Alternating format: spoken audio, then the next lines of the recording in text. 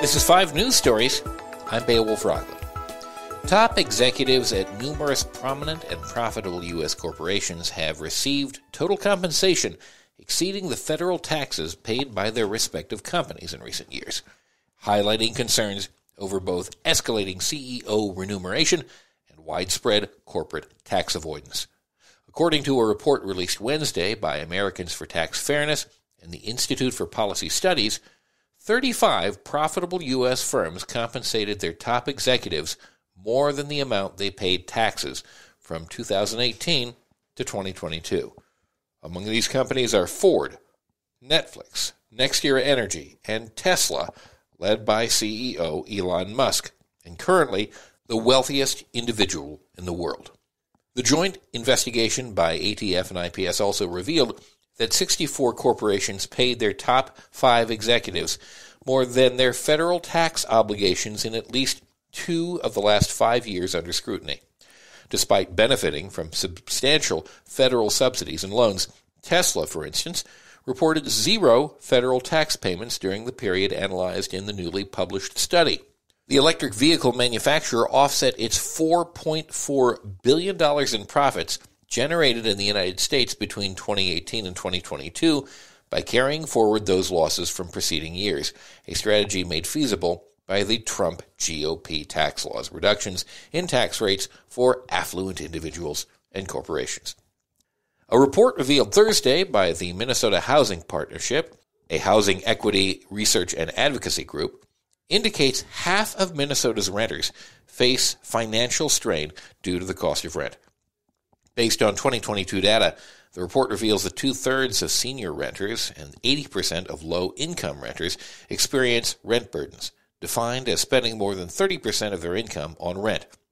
Drawing extensively from data spanning 2022 and 2023, Minnesota Housing Partnership's 2024 State of the State's Housing Report offers insights crucial for policymakers.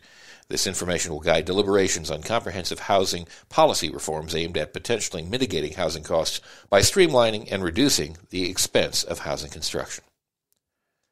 A man who participated in the 2017 Unite the Right rally in Charlottesville, Virginia, known for its association with Nazi ideology, was elected as its counselor, its city councilor in Enid, Oklahoma last year, leading to a significant divide within the community, as reported by NBC News. Judd Blevins' connections to white nationalists were brought to light by two local residents in early 2023, just before the local elections. Despite these revelations, Blevins was elected several weeks later, though knowledge of his involvement in the violent Charlottesville rally was not widespread throughout the community at the time of the election. However, since taking office, this information has become more widely known, sparking a recall campaign against him by city voters. The recall effort has been bolstered by Blevins' refusal to distance himself from white nationalist groups and his assertion that he has nothing to apologize for when questioned about the campaign against him. Furthermore, opponents of Blevins have stated that they would halt the recall campaign if he publicly announced his previous statements supporting white nationalism, proposition that he outright rejected. Nevertheless, Blevins maintains a considerable level of support within the community, with one individual at a recent city council meeting commending him for attending the rally in Charlottesville in 2017, which he described as a demonstration to protect American history. The recall election for Blevins is scheduled for April 2nd. The recall election for Blevins is scheduled for April 2nd. More in a moment. On Monday, the Oregon Department of Environmental Quality announced the relaunch of the creation process for a new climate protection program, initially approved three years ago to address the escalating threat of climate change. The program, which mandates fossil fuel companies operating within the state to progressively decrease their greenhouse gas emissions by 50% by 2035 and 90% by 2050, was nullified by the state's second highest court in December following a lawsuit regarding disclosures.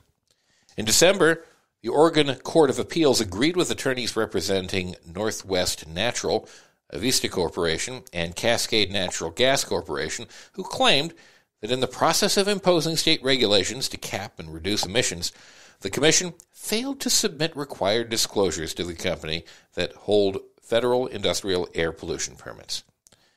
The department had been required to issue a written statement about why the state was adopting emission limits that exceeded federal rules, that disclose a list of alternatives that were considered and explain why they were not adopted. The court ruled the program invalid on that technicality. Senator Bernie Sanders proposed a bill aimed at instituting a 32 hour workweek across the United States without any reduction in pay.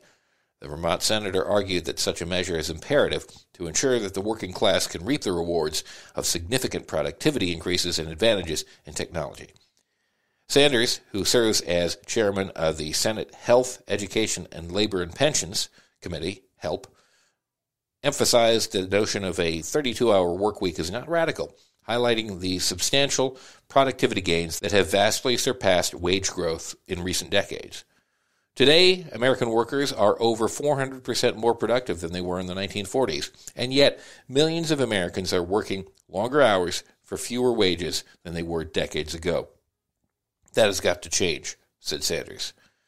Financial gains from the major advancements in artificial intelligence, automation, and new technology must benefit the working class, not just corporate CEOs and wealthy stockholders on Wall Street. That's five news stories. I'm Beowulf Rock.